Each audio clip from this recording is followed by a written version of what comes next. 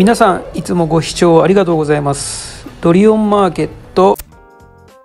はい。今回はですね新年一発目の動画なんですが、えー、ま、昨日の、ま、夜、ま、明け方ですよね。あのエメさんの結婚だったりとかこの年末年始にね結婚のニュースがすごいんですよね。だからその後も、ま、今回紹介する綾野剛さんえー、佐久間由衣さんの、まあ、こちら大晦日婚。で、えー、芸人のね、インディアンスの田淵さんが、えー、結婚するんじゃないかとか、えー、土屋、土屋太鳳さんですね。も、えー、年内に、えー、結婚みたいなニュースも出ているので、今年の年末年始はなんかこう、結婚のニュースラッシュだなっていう感じなんですが、えーまあ、今回はですね、俳優綾野剛さん40歳と、えー、女優の佐久間由衣さん27歳が結婚したことが31日分かったと。で、この日の、えー、未明に婚姻届を出して、まあ、2人は長らく友人関係にあったが、えー、まあ、芝居の、まあ、真摯な向き合い方に共感して、えー、交際がスタートと。まあ、長きにわたって愛情を温めてきたと。で、えー、互いに多忙を極める2023年を前に家庭を持つことを決断し、えー、同居生活はこれからで互いに身を固めたことで役者としてさらなる飛躍を目指すと。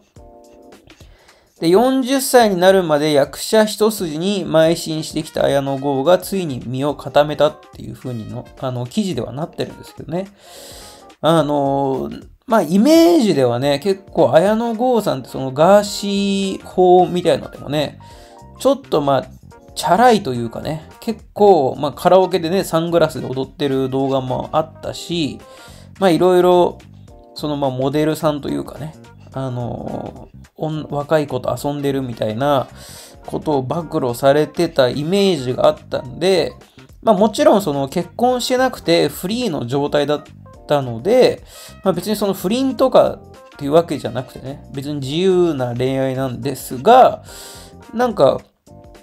あのー、この2人のね、この慣れ初めというか、まあ、自然に、えー、交際がスタートっていう書き方してたりとか、なんか他の、あの、結婚の方とかを見るとね、なんか約3年前から交際がスタートとかあるんですけど、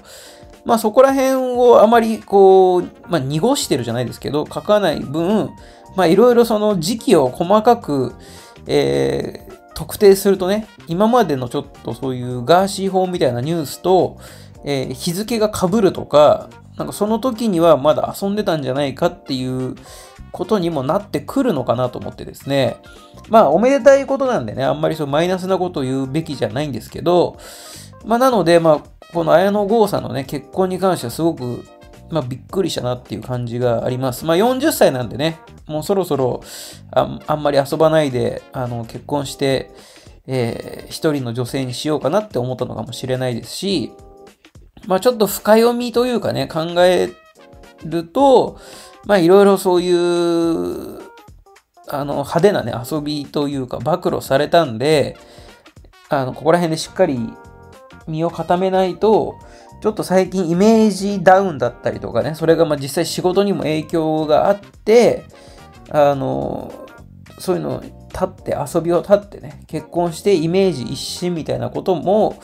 まあ考えちゃうかなとは思うんですけどね。あの、まあ、記事だったら、その、佐久間さんに芝居についてのアドバイスを送るなど、まあ、信頼関係を深めながら、長い時間をかけて、えー、愛情を育み、2022年に入ってプロポーズしたと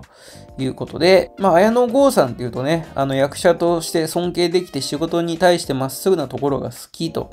いうことで、まあ、憑依する俳優と呼ばれるほどにストイックということで、今回はですね、えー、新年一発目、まあ、おめでたいニュースでスタートしました。綾野剛さんが、えー、13歳年下の、えー、佐久間由衣さんと結婚ということで、こちらのニュースを紹介させていただきました。よかったらですね、下の概要欄に自分がやってる Twitter のリンクありますので、えー、フォローしていただいて、で、こちらのチャンネルですね。よかったらチャンネル登録して別の動画もチェックしていってください。ありがとうございました。チャンネル登録、高評価よろしくお願いします。